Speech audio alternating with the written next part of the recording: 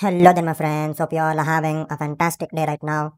In this video, we shall be looking at how we can build a Sudoku solver using Python. So let's get started.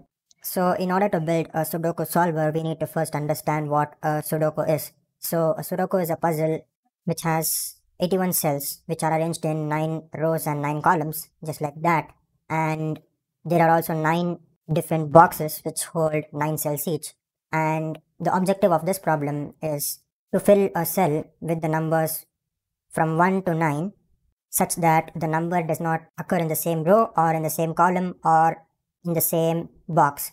So that's how the Sudoku should be solved. And we are going to build a solver for this. So having understood the rules of the Sudoku puzzle, we can go ahead and look at how we can build a solver for this. So the approach that we will be using is called the recursive backtracking algorithm and if you have watched my previous video on the n queens problem, then you would know what this algorithm means. So this algorithm is a really simple one which attempts to solve the Sudoku in one shot. So let's look at how we can apply the recursive backtracking algorithm in our case. So the first thing that we would want to do is to find a cell which is empty. So in this case, assuming that we will be starting from the first position and move all the way to the last position, the first empty cell that we find is this cell. And once we have found that cell, then we can check the possibilities for that cell. So in this cell, according to the rules, we cannot have 5, 3 or 7 because they occur in the same row as the cell. And we also cannot have 8 because it occurs in the same column. And we also cannot have 6 or 9 because they occur in the same box. So these sets of numbers are eliminated from our possibilities. Hence, this cell can only be filled in three ways that is 1, 2 or 4. So our algorithm needs to find which of these is the correct solution. So first it assumes that 1 is the best solution and moves forward and starts filling the cell and so on and it keeps finding empty cells and tries to fill all the cells till no empty cell is found. So when are we going to use backtracking? So the backtracking part will come if there is no possibility for a cell. So now we have assumed that out of 1, 2 and 4, 1 is the correct solution and we move forward and find the next empty cell that is this and try to fill in this cell. But we find that there are no possibilities for this cell which means the one that we have put here doesn't work. So that is the wrong entry and we need to change it. So we backtrack, erase this one and put in the next possibility that is 2. And then we again move forward and if we again find no possibilities for the cell, then we'll again backtrack, erase this 2 and put in 4. And now at this stage, if we move forward and try to fill the cell, then we should be able to do it because then we will have at least one possibility. So that is how we are going to solve it. And at this stage also we don't have a possibility then that means that the Sudoku is wrong and it is unsolvable. So that is how we are going to approach this problem. So having understood how the backtracking algorithm works, we can go ahead and implement it in Python. So here we are in Python and I have already created a Python file for us to work with and now we can get started with building our solver. So first we will need to have a 9 cross 9 board which we will be implementing using a two-dimensional list. So I'm going to call it board just like that. So we are going to initialize each and every cell with 0 initially and we will take the numbers as input from the user. So that's that. And next we will be writing our first function that is the print board function just like that so all this function is doing is just print the board of 9 rows and 9 columns onto the screen so let's call this function and check how it works so yep clean and now we need to implement the next function which is to find if a cell is empty. So find empty.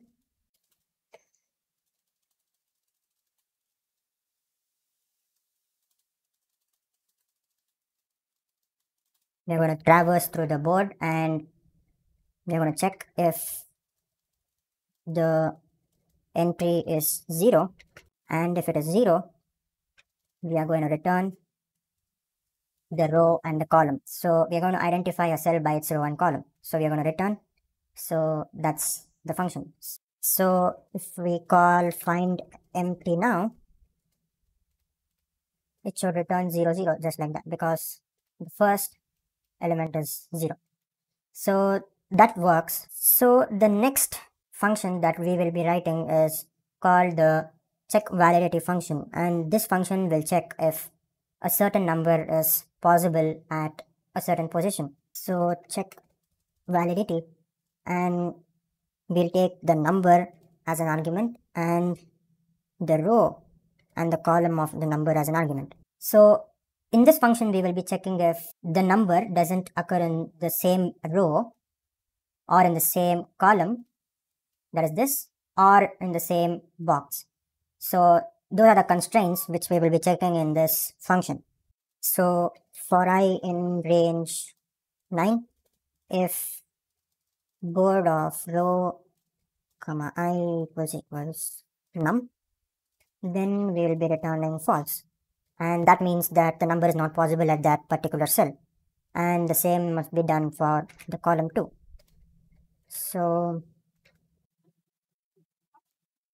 i comma volume so yeah so next we will have to check if the number occurs in the same box. So for that there is a trick and let's look at this to understand what it is. So let's consider this box right here and let's say we are at this position and we are to check if the number occurs in the box. So we will have to scan from this cell all the way till this cell. So if it occurs in any one of these cells then we have to return false. So the simplest way to do that is to first find the index of this cell. So how are we going to do that? That can be done by taking the absolute index of the cell and dividing it by 3. So what does this give us? So this gives us the index of the box. So for example, if we want to find the index of this cell, then its absolute index will be 3 comma 0 because it occurs in the third row and in the zeroth column. So when we divide this by 3, we get 1 and this is integer division. So we have to consider only the quotient. So 3 by 3 is 1 and 0 by 3 is 0. So this is the index of the box. So as you can see, this box will be at the index 0, 0, this will be 0, 1, this will be 0, 2, and this will be 1, 0. So that is the index of the box. And once we know the index of the box, we can iterate three steps here and three steps here and complete the iteration process. So let's implement that. So first let's find the row index and the column index of the box. So i equals row by 3 and j equals column by 3. And now we can start our for loop. So for m in range i comma i plus 3 for n in range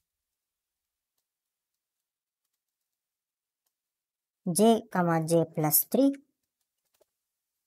then if board of m n equals num return false. So that's it. We have checked for the row column and the box and if we pass all these tests and we do not return false then we'll have to return true which means that number is possible at that particular position. So that completes the helper functions and now we have got to write the main solver function. So solve Sudoku. So this is a recursive function and you need to pay attention to understand this. So the first thing that we are going to do in the solve Sudoku function is to find an empty cell.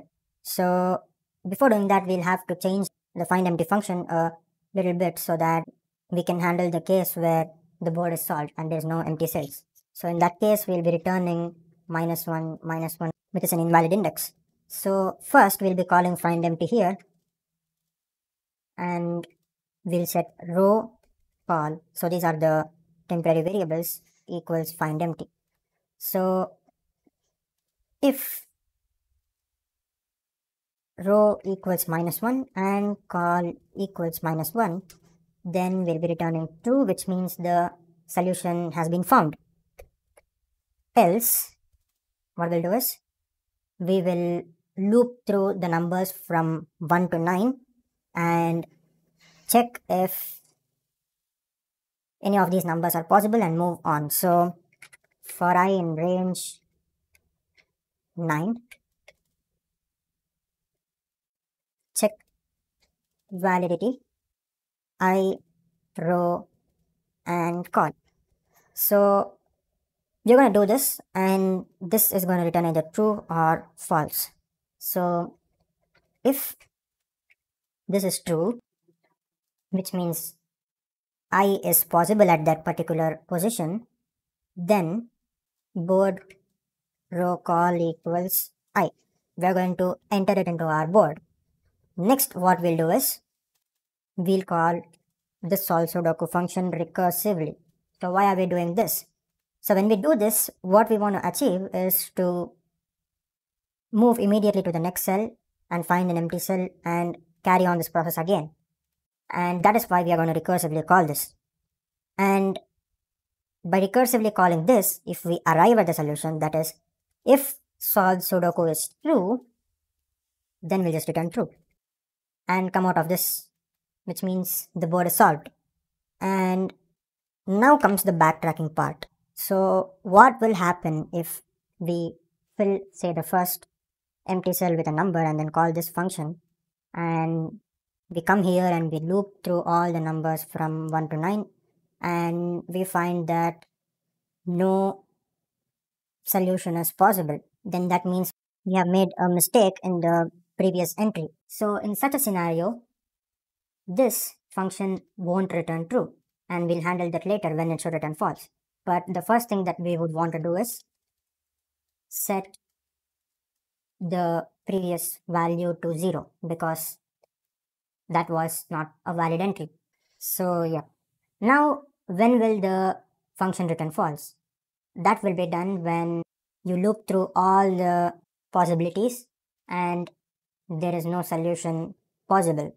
And in such a case, we will be at this position and so we will finish the else statement. So we'll just return false over here.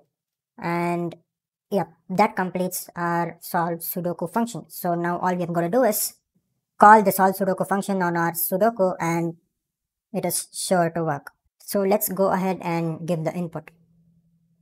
So as you can see here, I filled the board with the numbers from this example and now our algorithm should be able to solve the Sudoku. So let's check all the functions and see if they are correct. So, hmm. So here we are trying to use the index of the box, but that is not the starting index of the box. So the starting index can be obtained by multiplying the index of the box by 3 and the same goes for this too. So this should solve our problems. So now we are iterating through the 9 cells in the box and finding if the number is valid. And here for i in range 1 comma 10 because we want the numbers from 1 to 9 and not from 0 to 8. So that's the thing and we can now call the solve sudoku function and the print board function to see the results. So let's check this out. Yep got the solve sudoku and as you can see every column has the numbers from 1 to 9 every row has the numbers from 1 to 9 and all the boxes are filled too. So that's it for this video guys. I hope you guys enjoyed this video. All the code and the required stuff will be on my github. Make sure that you check that out too so that's it. Bye for now guys and i'll see you guys in the next video